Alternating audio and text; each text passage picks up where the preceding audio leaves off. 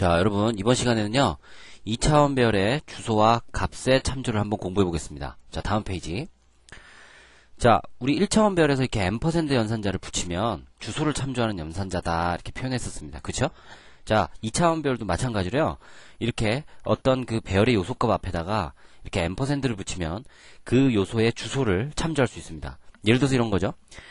int array 2행 2열에 10, 20, 30, 40을 이렇게 넣으면요, 메모리가 이렇게 생기죠?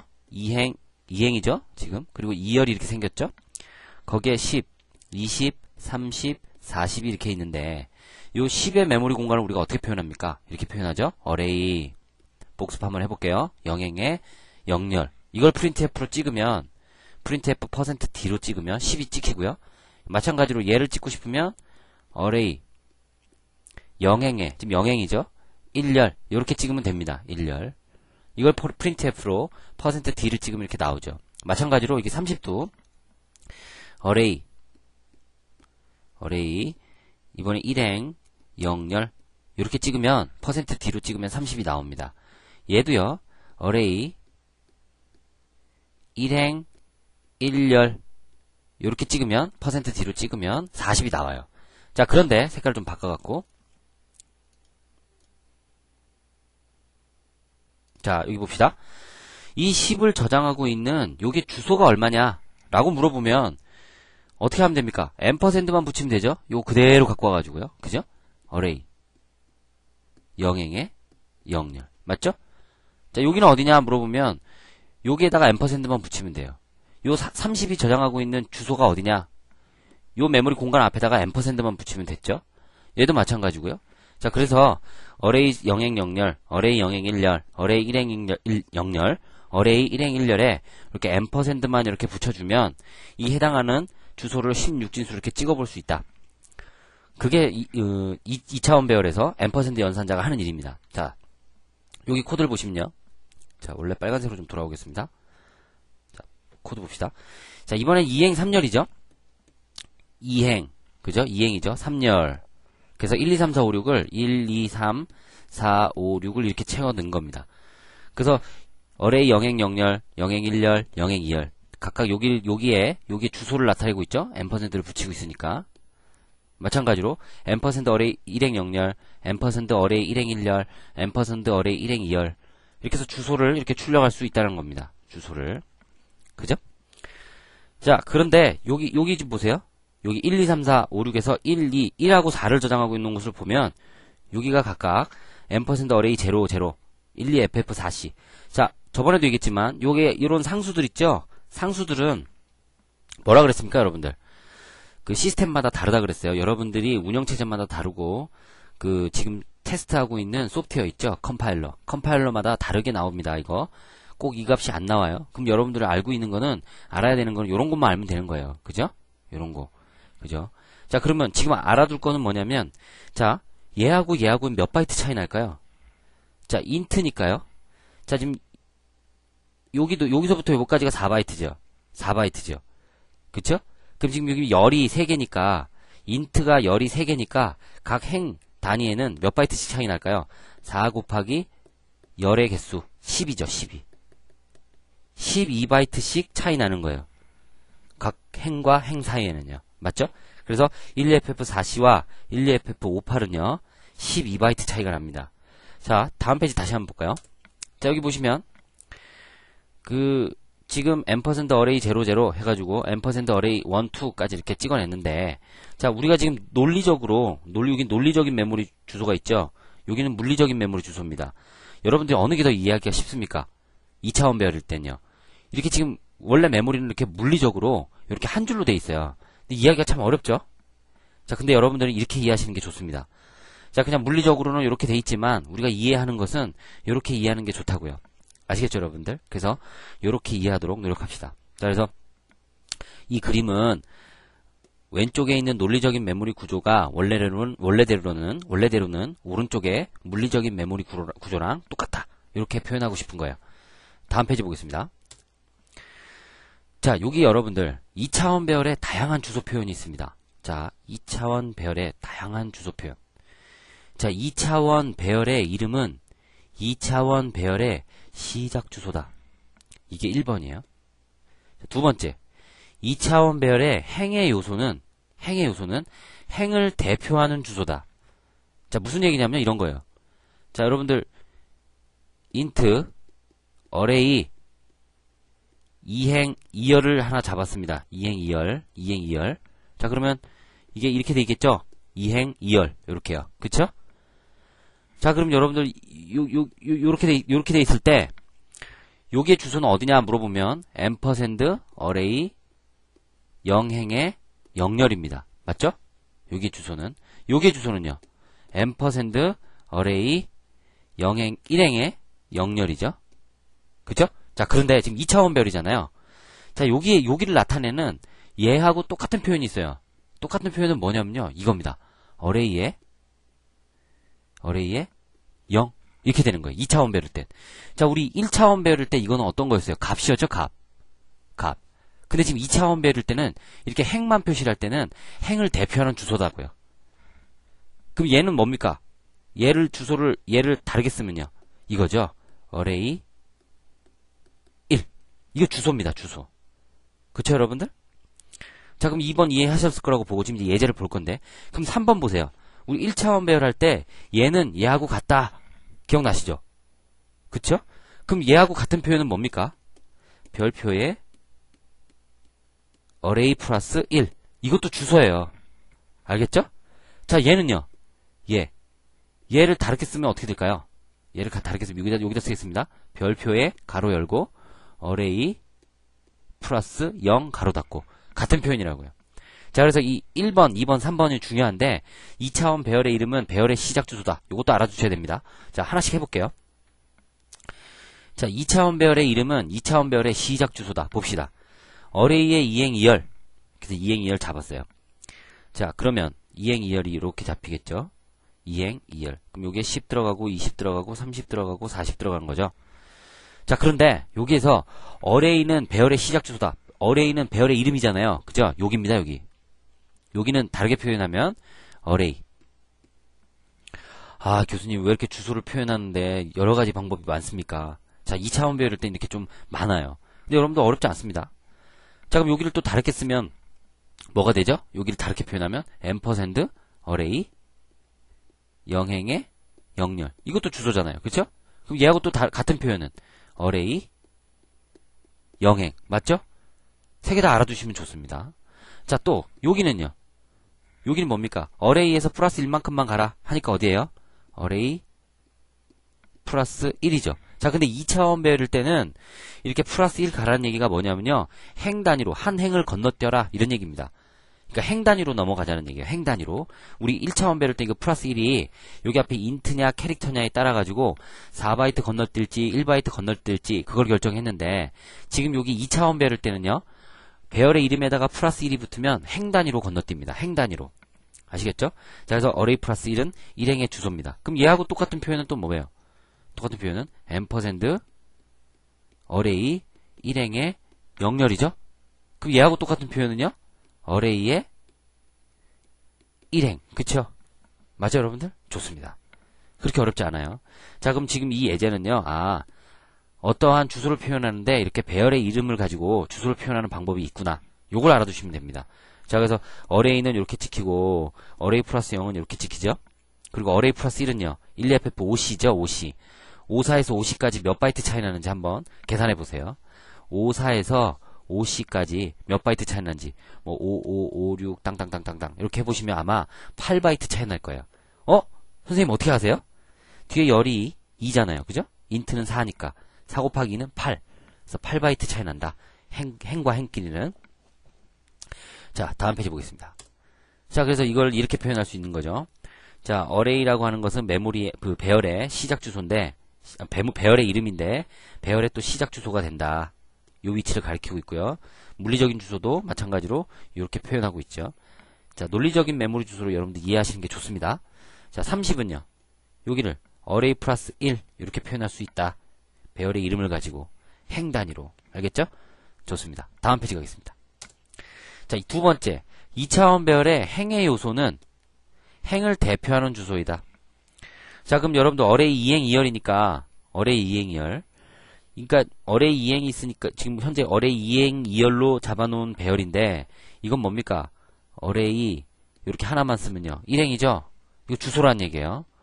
array 이행 주소란 얘기입니다. 그쵸? 여기 나와 있죠? array 제로와 ampersand array 제로 제로가 똑같은 표현이다. 2차원 배열일 때요. array 1은 ampersand array 1 제로와 똑같은 표현이다. 이 얘기를 하고 싶은 겁니다. 다음 페이지 보겠습니다. 자, 같은 얘기예요, 지금. 그림을 조금 이쁘게 그려놨는데, 자, 여기 지금, array 0. 여기 있죠? 여기 지금, 같은 표현 아까 뭐라 그랬어요? 배열의 이름, array랑 똑같은 거라 그랬죠? 배열의 이름. 그쵸? array. 똑같은 표현이죠? 여기, 일행의 주소죠. array 일행. 그쵸? 얘하고 똑같은 표현은, array 플러스 1입니다. 그쵸, 여러분들? 그리고 또 똑같은 표현은, ampersand array 00, ampersand array 10. 요거죠. 차라리 이렇게 외워두는 게 알아두는 게 더 쉽죠. 그쵸 여러분들? 자 이렇게 알아두는 것도 쉽지만 요런 것도 그 작은 표현이니까 알아두시고요.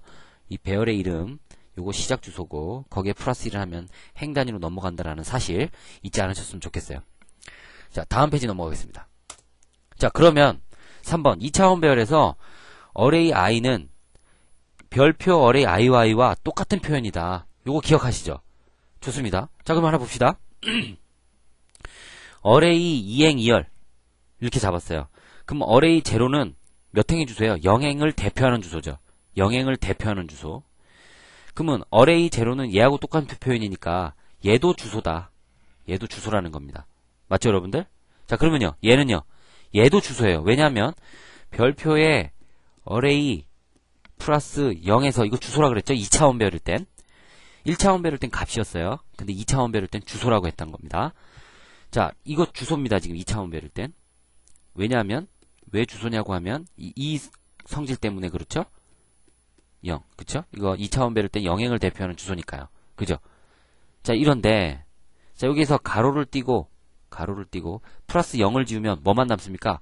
별하고 array만 남죠? 그래서 얘하고 얘는 같은 표현이 또 됩니다. 굉장히 많죠? 자, 또 하나 봅시다. array 1은 별표 array 1과 똑같다. 자, 요거랑 같은 건 얘기죠. 자, 그럼 만약에 내가 이런 배열을 하나 만들었어요. 여러분들. int로 array에 5행에 3열짜리 배열을 하나 만들었다고 칩시다. 그럼 이렇게 된 겁니다. 하나, 둘, 셋, 넷, 다섯. 맞죠? 그리고 3열이니까 1열, 3열. 맞죠? 요런 배열을 하나 만든 거예요. 자, 그럼 색깔을 좀 바꿔갖고 제가 좀 여러분들한테 자, 요, 요, 요거는 뭡니까? 요거는 요, 여기를 대표하는 주소는 영행이니까 어레이의 영행 같은 표현이죠, 그죠? 여기는요 어레이의 일행 맞죠? 여기는요 여기는요 어레이의 이행 맞죠? 여기는 어레이의 3행의 시작 주소 여기는 어레이의 4행의 시작 주소가 되겠죠. 맞죠, 여러분들? 자, 그러면 얘하고 같은 표현은요. 별표의 어레이 플러스 0. 이거하고 같은 표현이죠? 자, 얘는요. 별표의 어레이 플러스 1. 요거랑 같은 표현이죠? 그죠? 그럼 얘는요. 요, 여기 표현은 별표의 어레이 플러스 2. 그럼 요, 여기도 나오죠? 여기도 나오죠? 그죠? 여러분들. 자, 그래서 무슨 얘기를 하고 싶으냐면요. 아, 1차원별에서는 array i와 별표 array i는 값이었는데 2차원에선 주소다. 이렇게만 일단 알아둡시다. 알겠죠, 여러분들? 좋습니다. 다음 페이지. 자, 그러면 지금 이 그림이 바로 여러분들에게 방금 설명했던 얘기입니다. 자, 그래서 array 제로는 이렇게 별표 array 제로랑 똑같고 array one은 별표 array one과 똑같다. 그래서 각 행과 행을 그 나타내는 주소를 표현하는 방법이 여러 가지가 있구나. 이렇게 표현할 수도 있고요. 또 하나는 행과 행은 몇 바이트 차이 나죠, 지금? 몇 바이트 차이 나요? 여기 두, 한 덩어리, 두 덩어리가 있으니까 행과 행은 int니까요. 8바이트 차이 나는 거죠. 그죠? 얘하고 얘도 8바이트 차이 나는 겁니다. 8바이트. 맞죠, 여러분들? 자, 근데 이게 물리적 메모리를 제가 이렇게 그려놨는데, 이거를 이해하는 것보다는 이렇게 이해하는 게 훨씬 쉽고 재밌습니다. 자, 그래서 여러분들 그것도 아셔야 되겠죠? array 00, array 01, array 10, array 11의 자리는 각각 여기, 여기, 여기, 여기 이런 걸 표현하더라. 마찬가지로 물리적인 메모리도 여기, 여기, 여기를 표현하더라. 그렇게만 알아둡시다, 일단. 그래서 지금까지 한 게요. 2-9.c를 분석한 거고요. 다음 페이지 넘어가겠습니다. 자, 이번 페이지 하나 봅시다. 자, 색깔을 원래 좀 바꿔가지고. 자, 여러분들. 이 표현은 문제가 없을 거예요. 지금 어레이 이행 이열을 잡아놓으면 이렇게 어레이 이행 이열을 잡아놓으면 각 열과 행과 열의 요소 앞에 m%를 붙이면 각각 여기를 나타내는 여기 10, 20, 30, 40이 들어갔죠? 각각 여기를 나타내는 주소구나 라는 걸 알 수 있습니다. 맞죠? 맞습니다. 그죠? 자 그러면 얘를 가지고 표현하는 방법이 또 있어요. 얘를 가지고 뭐냐면요. 어레이 영행 영렬의 주소입니다. 이게 이게 어레이 영렬의, 영행 영렬의 주소예요. 왜냐고요? 어레이 0은 영행을 대표하는 주소였으니까요. 그쵸? 쉽죠? 그 다음에 얘는요. 어레이 0은 영행을 대표하는 주소였으니까 여기 뒤에다가 1을 쓰면 영행 1열의 주소다. 이렇게 되는 겁니다. 두 번, 세 번째. 어레이 1행의 주소죠, 요건. 거기에 플러스 0이니까 1행 0열의 주소입니다. 얘는요. 어레이 1행의 대표 주소죠. 거기에 플러스 1을 하니까 1행 1, 1열의 주소예요. 1행 1열의 주소. 자, 그러면 여기 보세요. 지금 여기 지금 내가 네모를 그어놨죠? 네모. 네모를 거놓은 거랑 여기 지금 네모를 거놓은 거랑 어떻습니까? 똑같죠? 똑같은 표현이라고 그랬잖아요. 여태까지 우리가 주소. 자, 그래서 지금 요 지금 밑에 이 코드는요. 어레이 영행을 뭘로 치환한 거고요? 별표에 어레이 플러스 0하고 똑같은 표현이다. 이렇게 치환한 거고요. 마찬가지로 또 하나를 보면 어레이 플러스 1을 우리가 아니죠. 잘못 썼습니다. 어레이 1행을 1행의 주소를 뭘로 바꿨냐면 별표에 어레이 플러스 1 요거랑 같은 표현이라고 했어요. 맞죠, 여러분들? 지금 현재 뭐 그렇게 어렵지 않습니다. 그래서 지금 그 주소값을 다 찍어보면 얘하고 얘하고 같고요. 얘하고 얘하고 같다는 얘기예요. 그러면 어 선생님 지금 굉장히 다양하네요. 그쵸? 어느 걸 더 알아두는 게 더 좋나요? 라고 물어볼 수 있죠. 그죠? 뭐 다 알아두시면 좋습니다. 그리고 어렵지 않잖아요.